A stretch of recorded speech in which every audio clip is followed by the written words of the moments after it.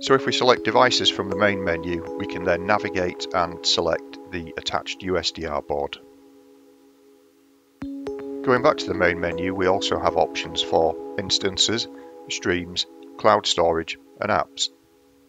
From the apps page, we can select to create a new instance of an application, such as a simple real-time spectrogram display, for example. From within the spectrogram app, we can set the frequency, bandwidth and sample rate, and then start streaming.